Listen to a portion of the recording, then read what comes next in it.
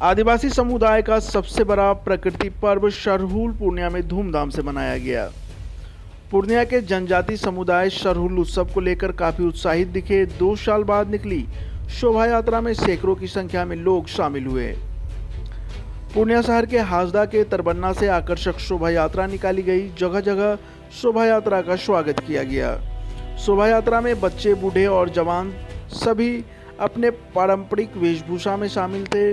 आदिवासी समुदाय की महिलाएँ व पुरुष शोभा यात्रा में मांदर की थाप पर पूरे लय में थिरक रहे थे। शोभा यात्रा तरबन्ना हाजदा से निकलकर शीशावाड़ी चौक, ज़ीरो माइल, सनौली चौक होते हुए पुनः हाजदा पहुँची। शोभा यात्रा का जगह जगह स्वागत किया गया। बताया जा रहा है कि हाजदा गुलाब बाग में अनेक वर्षों से सरहुल उत्सव धूमधाम से मनाया जाता है। इस मौके पर प्रतियोगिता का भी आयोजन किया जाता है। प्रतियोगिता में जीतने वाले प्रतिभागी को पुरस्कार देकर सम्मानित किया जाता है।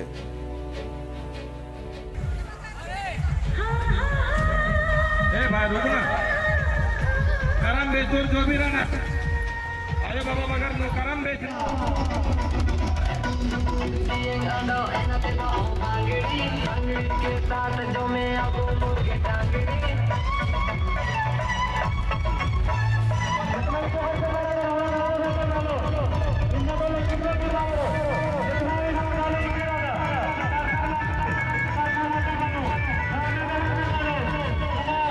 उत्सव मनाया जा रहा है और क्या खासियत है इसकी?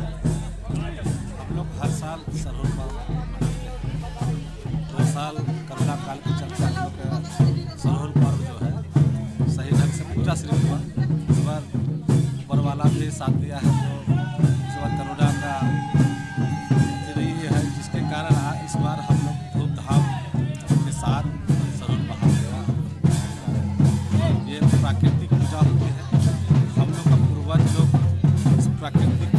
प्राकृतिक में और संवरने में उनका बहुत बड़ा योगदान है। फ़सल बर्बाद नहीं होगा। फ़सल को सुरक्षित रखने के लिए हम लोग सूर्य और क्या क्या कार्यक्रम है आज का? पूजा में आज का कार्यक्रम हम लोग है शोभा यात्रा निकलेगा हंसदा कोठी बड़ी से ज़ीरो में मैदान पर आएगा।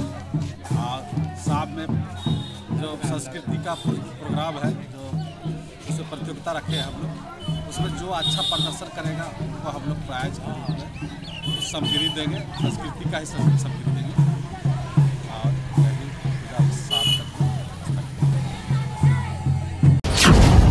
अब हर खबर पर होगी हमारी नज़र। पल पल बदलती देश और दुनिया की हर खबर। पाइए सीधा अपने मोबाइल पर।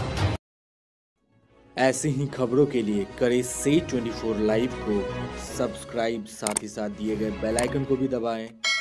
Thank you